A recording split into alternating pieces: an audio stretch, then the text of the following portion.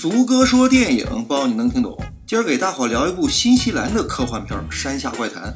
影片一开场，王大伯和一对双胞胎兄弟正在树林里瞎寻摸的时候，一种神秘的生物突然出现，然后其中一哥们儿就领了盒饭。转场之后，大眼哥和大眼妹这对双胞胎兄妹刚回到家，就得知自己的妈咪在一场车祸中壮烈牺牲了。哎呀，三分钟不到，已经有两个人挂，这电影实在太可怕了。为了疗伤，兄妹俩前往奥克兰的姨妈家散心。两人走出火车站，发现他们那位不靠谱的表弟小白脸还没到。此时的小白脸正在车里跟龙套妹瞎比划，把接站这事儿忘得是一干二净。直到电话响了，这哥们儿才想起来，这奥克兰不仅经济发达，要啥有啥，而且还有几十座死火山，景色宜人，是越看越销魂呢。小白脸说：“你们妈咪这一领盒饭，你们爹地可怎么办？”大眼哥说：“中年丧妻，我爹地已经彻底懵逼了。”收拾好东西之后，大眼哥来到了海边，对面的一幢古老的别墅引起了他极大的兴趣。小白脸说：“那是张大爷家的别墅，据说那个地儿以前是一殡仪馆，常年的阴魂不散的，想想都肝颤。”转过天，大眼哥正在外边瞎溜达的时候，遇见了正在玩火的王大白。这哥们儿回家一翻书啊，居然在一张老照片里看到了王大白。大眼妹划着船到处瞎求转的时候，不幸被神秘古怪的张大爷给发现。到了后半夜，一帮穿着黑西装的家伙站在小白脸家门口，不停的看，也不知道想干什么。第二天，兄妹俩在海边发现了张大爷家的汽车。大眼哥打开后盖一看，当下就是猛地一颤。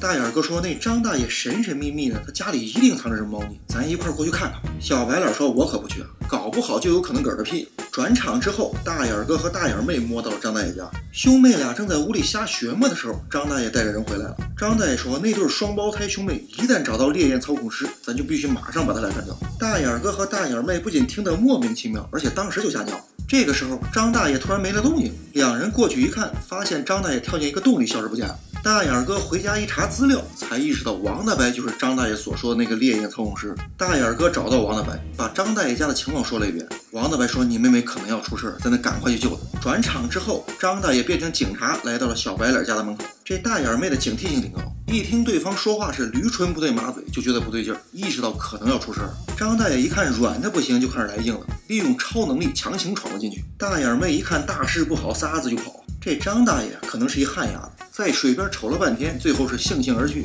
这大眼妹虽然躲过了一劫，但却中了张大爷的独门绝技，眼瞅着就要嗝了屁。王大白一看，意识到自己再不出手，大眼妹就有可能领盒饭，于是利用自己的旷世绝学九阳神功，把大眼妹给救了。王大白说：“这地儿不能待了，我带你们去一个安全的地方。”王大白说着，利用超能力带着大眼哥和大眼妹屁遁而去。这小白脸哪见过这种特效，当时就吓尿。王大白带着兄妹俩刚回到家，就让邻居给看见了。邻居一看这老家伙行动诡秘，就认为王大白没憋什么好屁，于是就报了警。王大白说：“我跟张大爷那些人一样，都不属于这个世界。那张大爷一家其实是一种掠食者，残忍狡猾，见啥吃啥。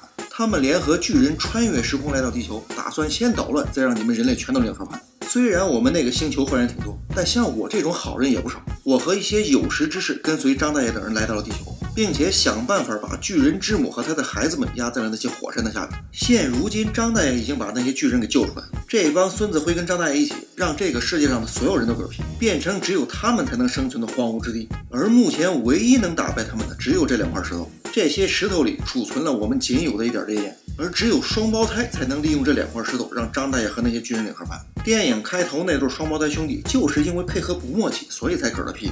从目前的情况来看，拯救世界就靠你们俩。兄妹俩一听接了一大活，的心里都非常的激动。三个人正聊着的时候，接到报警的警察来到了王大白家。警察说：“你一没护照，二没身份证，你最好老老实实的招呼，不然就给你上老虎凳。”王大白说：“你们人类马上就要领盒饭了，我可没工夫给你这儿闲扯。”趁着警察门口喝水的时候，王大白放了一把火，然后就消失不见了。大眼哥和大眼妹回到家没多久，张大爷变成王大白的样子，把这兄妹俩骗进了别墅，准备来一关门打狗，杀人灭口。兄妹俩一看大事不好，撒子就跑。大眼哥和大眼妹刚游上岸，张大爷带着七个巨人就出现了。就在这关键的时候，王大白带着小白脸及时赶到。大眼哥认为自己神功已成，便打算一个人跑到山上去拯救世界。王大白说：“小伙子，你还缺练呢，轻举妄动很容易领盒饭。”可大眼哥根本就不听劝，说：“你等着瞧，我会证明给你看。”大眼哥走了之后，王大白带着大眼妹也来到了山上。由于频繁的发功，可把王大白累得不轻。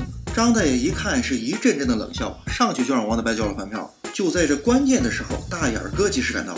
大眼哥通过心灵感应唤醒了已经被张大爷掐蒙圈的大眼妹。影片的最后，兄妹俩双剑合璧，最终让以张大爷为首的外星人流氓犯罪团伙全都嗝了屁了。看完这整部影片，我们还是来首唐诗压压惊吧。